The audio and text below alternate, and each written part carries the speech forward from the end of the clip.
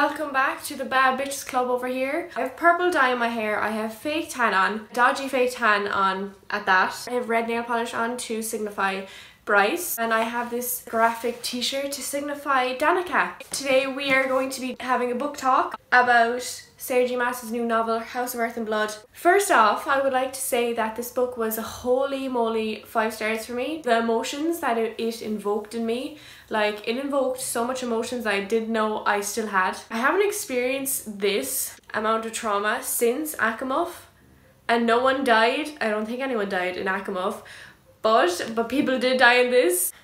So this is going to be filled with spoilers. If you haven't read this book and you like Sarah J I would recommend reading it if you haven't read this book and you don't like Sarah J Maas, please don't fucking read it because you're probably not going to like it if you don't like Sarah J Maas. Honestly, um, I cannot tell you how much it upsets me of how many people criticize her. Constructive criticism is good. I'm just playing out, just being rude. It's just a bit like why? So it's been two days since I read this beautiful, oh my god, the cover is literally gorgeous and I broke the spine so many times, like wide. I could read everything, you know, read in between the lines and everything. I'm still having upsetting feelings about it because of the peak of the characters who died in this book. So obviously we should have known from the back of the book um, and then the demon murdered her closest friends. I don't really look at the back of the book anymore because I feel like it just spoils me for like everything. So I only looked at the top bit and then when I was like 30 pages in I read you know, the killing the friends part and I was like, I got attached to Danika and the pack of wolves. I got really attached to Connor. Like for me, Bryce and Connor were gonna happen. Like I want them to happen still. You know, I love Hunt and all, but Connor and Bryce were the ones that I was like rooting for. And the text messages between them just absolutely broke me in half especially at the end. Oh my god, my emotions are so jumbled up. I'm to be everywhere. I was just so emotionally attached to these characters and they just died in such a horrendous way by Micah, this archangel asshole killed Danika and her pack of wolves and he, he even gave the drug, I think he gave the drug to Danika so to kill the pack of wolves or to kill herself which I thought was despicable. Just that that whole scene with Bryce um, and Micah towards the end where Micah was like confessing that he knew that Bryce was the horn, which mind blown. Like what? Bryce is the horn? And she's starborn? What? I was like constantly what the fucking for the last 200 pages. I kid you not. That scene um, was so tense and that everyone in the summit was watching along and giving in commentary was honestly I thought was perfect and uh, Micah threw Syrinx, Sin into the nook water with that weird ass creature and when Bryce went in to save him, I was getting misty-eyed a lot. One of the first things I got misty-eyed about was Lahibia.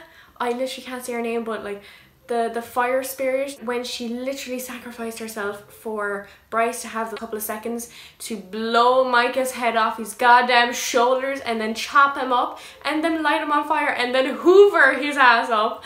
I thought that was honestly priceless when Bryce hoovered him up and everyone was watching and I was like this is my girl right here. She is Bryce is just absolutely phenomenal character. But when she sacrificed herself and when Bryce was telling her that she was free and that Bryce paid for her, oh my god, that, that touched my heart.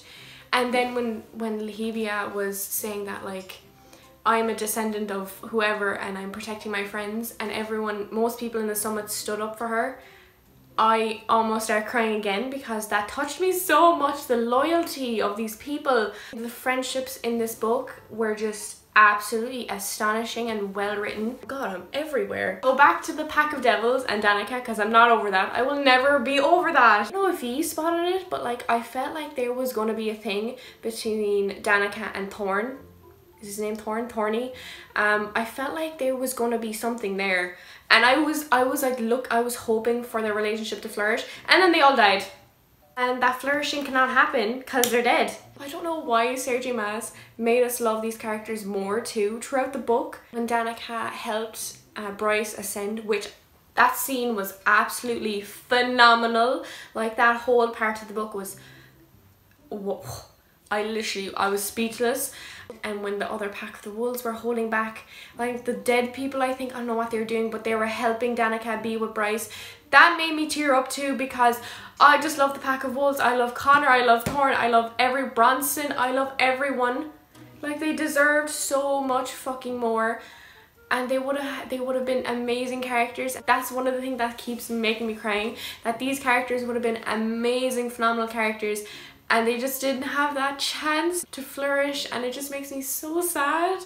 And another one when after all everything was done and Bryce went to next to the water and she was looking at the bone the dead people and she could see the pack waving at her. Okay that made me tear up again. Oh my god these characters! I wish they were still in the book. The messages between Connor and Bryce. Last one that Connor sent two years ago saying like text me when you get home safe. And then she texts him saying that she's home.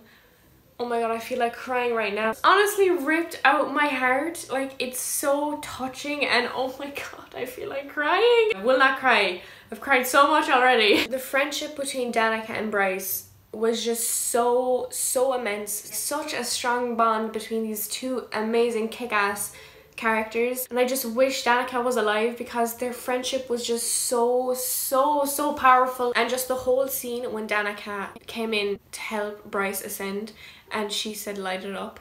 Two quotes that I love so much from this book is light it up Light It Up Bryce, Light It Up Danika. And another one is, it was the quote on Danika's jacket. True love, all is possible. I love them two quotes. I, want lighted Up tattooed on my forehead and I want True Love All Is Possible tattooed on both of my legs. I just think them quotes are so touching and they just mean so much. Like of Danika coming from the fucking dead, her essence, like helping Bryce ascend and then when Bryce beat the Autumn King, her dad, her fucker of a dad, in power, I was like rejoicing. And then when Sabine, oh my god, Sabine, I did not like this character at all. She was just a bit of a nuisance, like I didn't understand her. Everyone was looking on astonished when she beat the king, um, you man, in power. Like that was a great moment. It was chapter 92 where it's like, oh, light it up Danika light it up. It just hurt me so much and reading back over it like my heart actually is in pain like in physical pain. Another scene that was like absolutely whopper. Bryce the kick-ass female badass character was in the city. She was trying to get to the gates to close them up with her starborn power. Oh my god. And she kept a secret for Ruhn her brother which I love Ruhn to be honest him and Hypaxia I think that's her name, are, oh my god, I love them together. They are the best. To the scene where Hunt jumped out of the airplane to protect Bryce from the explosions that that Asteri people were exploding into the city and I was like, why are you doing this? When Hunt protected Bryce. And then when Bryce stood up and she was okay and she was like, wow, how am I okay? And then she looked over and saw Bryce's body. She looked over and saw Hunt's body his legs were gone and his arm was gone and that made me almost cry too. And then in my head I was like, oh it's grand, like didn't they say like they can heal? The bomb that the Asteri bombed like slows Fae healing or something so he would have died but then Bryce ascended and she like saved him somehow. I don't know how she did that. After she ascended then and when Hunt was like giving her like chest compression CPR and he was like, you're such a coward for not telling me those three words. Oh my god. True love, all is possible is all I gotta say. There's literally so much that happened in this book that's just flabbergasting me. I'm not gonna lie though, the beginning for me was really, was slow. First 200 pages were slow for me. Like I did a reading blog and my last video, check that out. But the last 300 pages were mighty fine. Never felt this pain when I think of characters. Like when I think of Connor, of Thorne, of Danika, I feel pain. When I think of Lahivia, I just... Pain. World building for this was really good and I really enjoyed, it was a fantasy set in modern times. Like I think that was such a cool aspect. I need to be Bryce. It did annoy me sometimes when she kept on saying alpha holes and I think Sarah J Maas did that from her other books because she does use like alpha male characters and quite dominating male characters and some people probably didn't like that.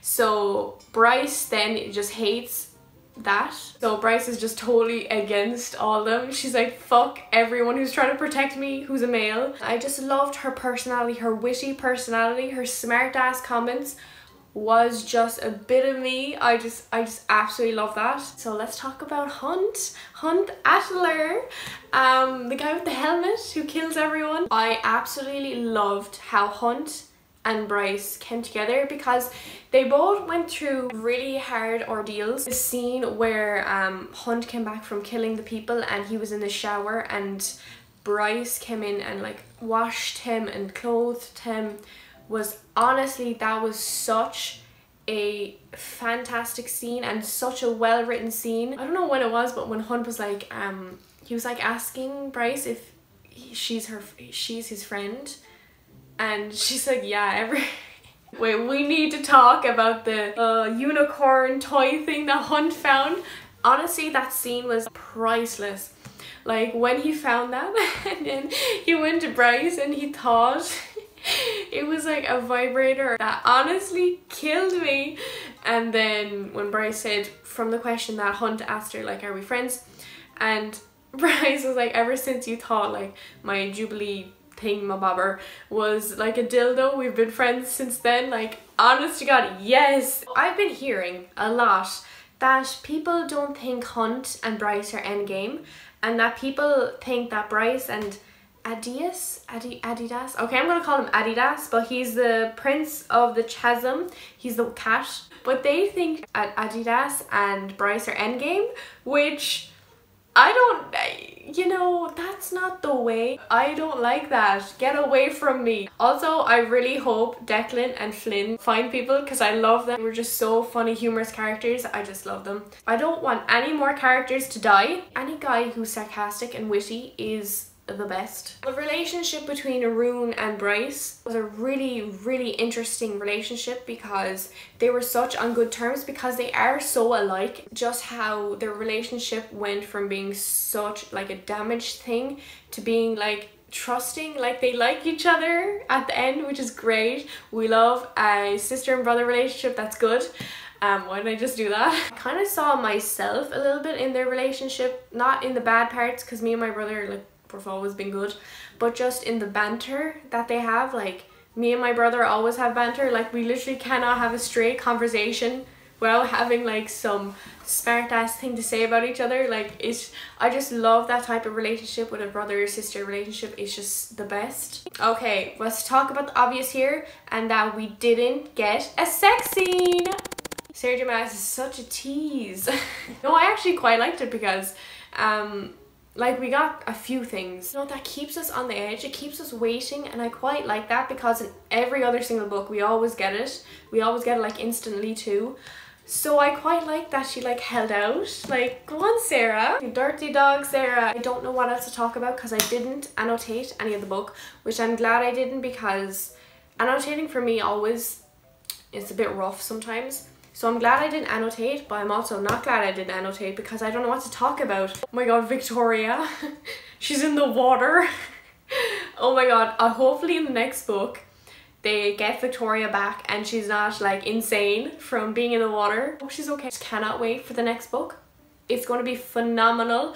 It's coming out in 20 November I think next year which boy why can't you come out quicker honestly? So give me your thoughts give your me your opinions down in the comment section. Let's have a discussion. And also i'm still not okay.